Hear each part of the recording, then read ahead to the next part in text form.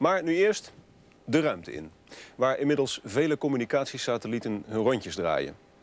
Steeds meer vrachtauto's worden voorzien van apparatuur die met deze satellieten in verbinding staat. Maar hoe werkt dat systeem nou precies? Nou, waar we over praten zijn uh, de satellieten die boven de aarde uh, zweven en het grondstation hier in Buren, waar we op dit moment zijn. Uh, ons satellietcommunicatiesysteem werkt wereldwijd. Dat betekent waar je ook ter wereld bent, je van dit systeem gebruik kunt maken. En dat kan dus zijn ook voor positiegegevens en ook voor berichten. En dat heeft weer te maken met het feit dat de satellieten die we hiervoor gebruiken...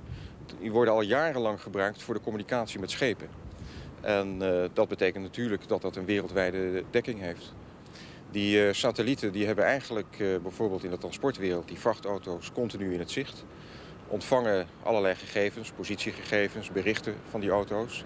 Stralen dat door naar het grondstation hier in Buren. Wij verzamelen dat en sturen dat weer door naar de ontvanger via meestal het telefoonnet. En uh, bijvoorbeeld in de transportwereld, uh, waar men het veel voor gebruikt, is uh, wat men noemt fleet management. dat betekent dat een planner bij een transportonderneming, die krijgt een vraag voor een transport, ergens in Europa. Hij kan dan met één druk op de knop alle posities van zijn vrachtauto's opvragen. En kan dan een bericht sturen naar de chauffeur die het dichtst in de buurt is van het adres waar het opgehaald moet worden. U hebt nou die satellietcommunicatie aan boord van die auto's. Is, het, is dat nou nodig of is het een gimmick? Het is nodig. Het is nodig om ons uh, in de toekomst, uh, in de strijd om de concurrentie, uh, een betere service te verlenen aan onze opdrachtgevers. Maar waarom verleen je nou door satellietcommunicatie betere service? onze opdrachtgevers, hoofdzakelijk de grote winkelbedrijven... en wij vervoeren alles vers, groenten, fruit, bloemen, planten... die willen donders graag weten wanneer hun goederen arriveren. En om permanent contact met het voertuig te hebben... kunnen wij permanent aan onze opdrachtgevers vertellen wanneer die goederen arriveren.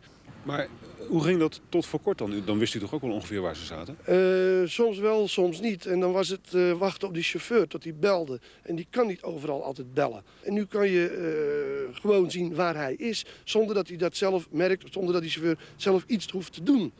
Vindt u dat niet vervelend dat die in de gaten gehouden wordt?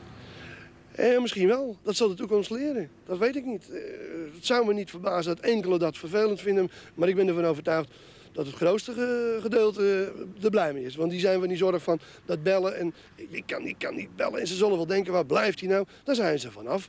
Uh, maar de voordelen voor de chauffeur is dat hij voor zichzelf in ieder geval het gevoel heeft... ik ben altijd bereikbaar. Uh, ook thuis. Als het iets thuis zou zijn, binnen het gezin of in de familie binnen drie minuten weten ze waar ik ben. En kunnen ze mij dat doorgeven. Uh, dus dat is toch altijd een gerust gevoel. Wat voor toepassingen ziet u in de toekomst nog komen? Nou, eigenlijk is het zo dat uh, het gaat hier met name om het uitwisselen van tekstberichten. En je zou rustig kunnen zeggen dat uh, alle informatie die voor de bedrijfsvoering nodig is... via dit systeem uitgewisseld kan worden. Misschien in de verre toekomst dat men het ook nog voor beeldinformatie wil gebruiken. Maar heel eerlijk gezegd verwachten wij niet dat daar echt op korte termijn behoefte aan is. Ik zit even te denken aan het vervoer van gevaarlijke stoffen. Misschien zou het daar wel zinvol zijn om bijvoorbeeld een videoverbinding te hebben.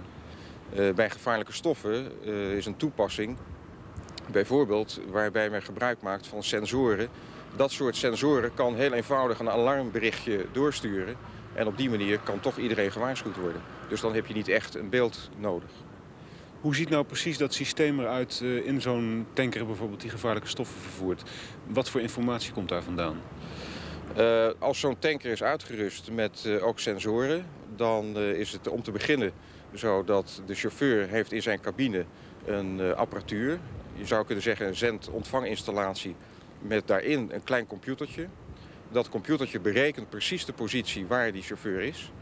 En verzamelt ook via die sensoren allerlei informatie. Ik heb ook wel eens iets gehoord dat uh, die sensoren kunnen zien of er een ongeval heeft plaatsgevonden. Hoe, hoe, hoe zie je dat? Uh, nou, u moet dat niet in, in de letterlijke zin van zien. Maar uh, bijvoorbeeld als zo'n auto uh, gekanteld is... dan heb je een sensor die in werking treedt als een bepaalde hellingshoek is veranderd. Uh, als er een bepaalde botsing heeft plaatsgevonden... dan zijn er sensoren die op een bepaalde druk reageren.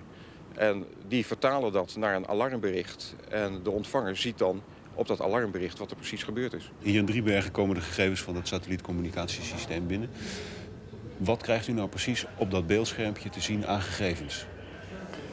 Bij een melding krijgen wij eh, te zien de locatie van het voertuig, welk voertuig het is, van welke transportondernemer en wat de soortlading is en de hoeveelheid van de soortlading en de gevaarsklasse van de soort gevaarlijke stoffenlading.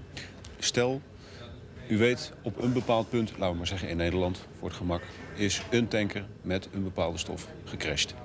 Dat is zeker. Wat doet u dan als eerste? Dan gaan we vaststellen welke stoffen er aan boord zijn.